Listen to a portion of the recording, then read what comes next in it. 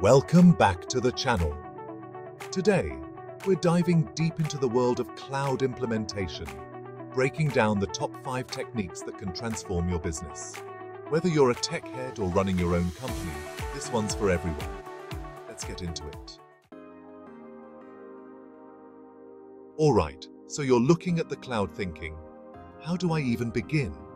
Sometimes the simplest approach is the best one. Lift and shift, also known as rehosting, is basically what it sounds like. You're taking your existing applications and moving them as is to a cloud platform. Think of it like moving apartments.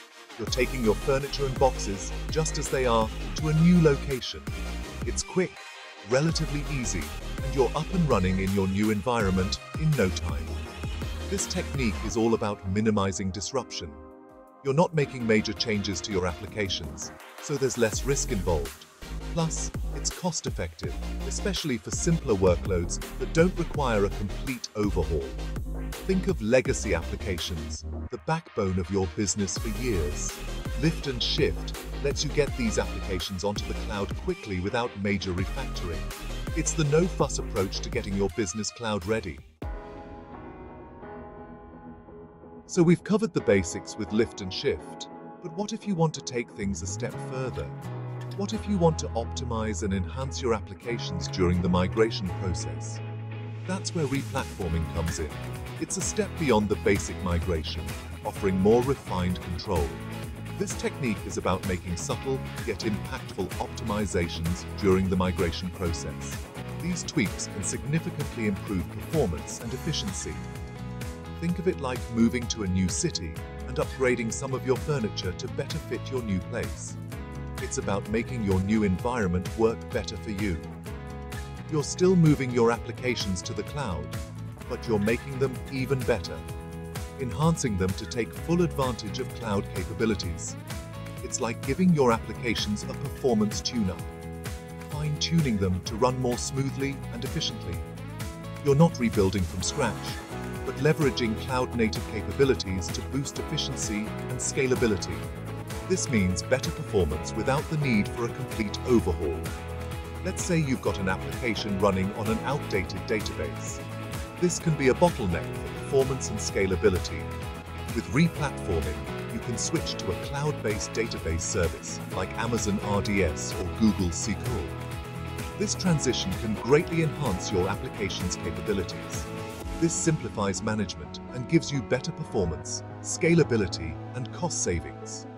It's a win-win situation for your IT infrastructure.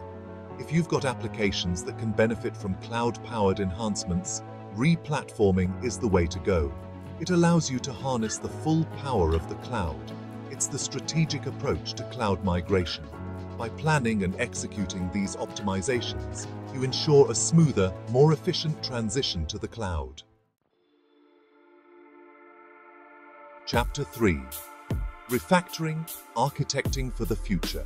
We're talking about a complete transformation here, a fundamental shift in how we approach and manage our technology infrastructure. Refactoring is like taking your old car and rebuilding it from the ground up into a high-performance machine, ensuring every part is optimized for peak performance. It's the most complex and involved approach, but trust me, the results can be game-changing offering unprecedented levels of efficiency and capability.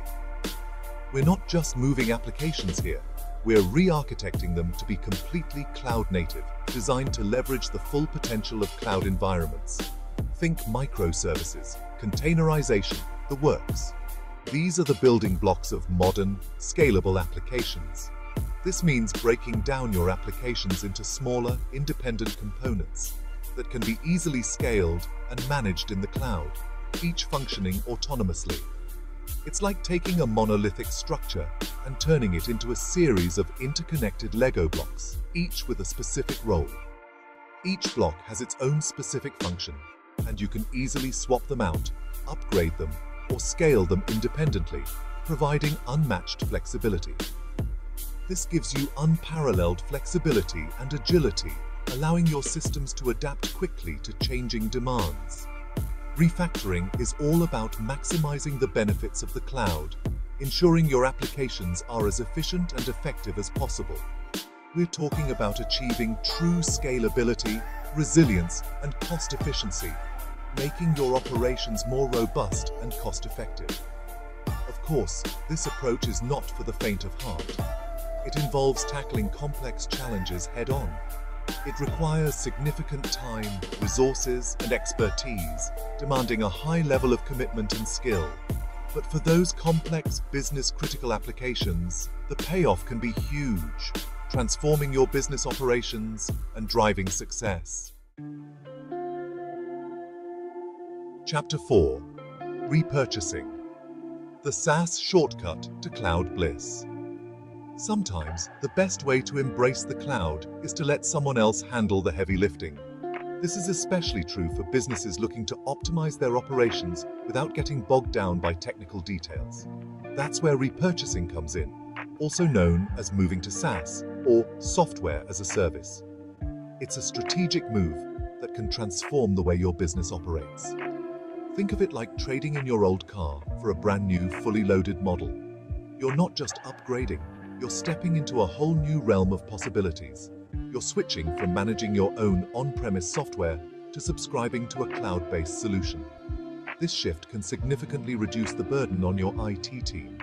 Instead of dealing with hardware, software updates and maintenance, you're getting a turnkey solution that's ready to go.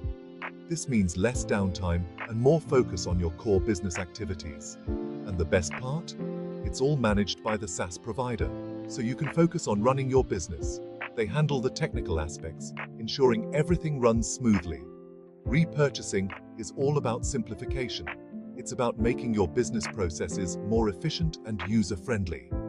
You're getting rid of the complexity of on-premise solutions and embracing the ease of use and accessibility that SaaS offerings provide. This can lead to increased productivity and employee satisfaction. This approach is perfect for organizations looking to streamline operations and reduce IT overhead. It allows you to allocate resources more effectively. If you're looking for a simplified, cost-effective, and feature-rich cloud solution, repurchasing is worth exploring. It could be the key to unlocking your business's full potential in the cloud. Chapter 5 Hybrid Deployment Bridging the Gap Between Worlds. What if you're not ready to go all in on the cloud just yet? Maybe you have specific security concerns, regulatory requirements, or legacy applications that are not ready for a full migration. That's where hybrid deployment comes in offering the best of both worlds. It's like having a dual SIM phone. You can switch between networks depending on your needs. With hybrid deployment, you're combining your existing on-premise infrastructure with the power and flexibility of the cloud. This approach gives you the flexibility to keep sensitive data on premises while leveraging cloud resources for other workloads. It's about finding the right balance between security, compliance, and innovation. You can start by migrating less critical applications to the cloud while keeping your core systems on premises. If you're looking for a flexible, scalable, and secure way to transition to the cloud, hybrid deployment is the way to go. Chapter 6 Cloud Control Choose Your Path to Business Evolution. So there you have it, the top 5 cloud implementation techniques each with its own strengths and ideal use cases. Remember, there's no one-size-fits-all solution here.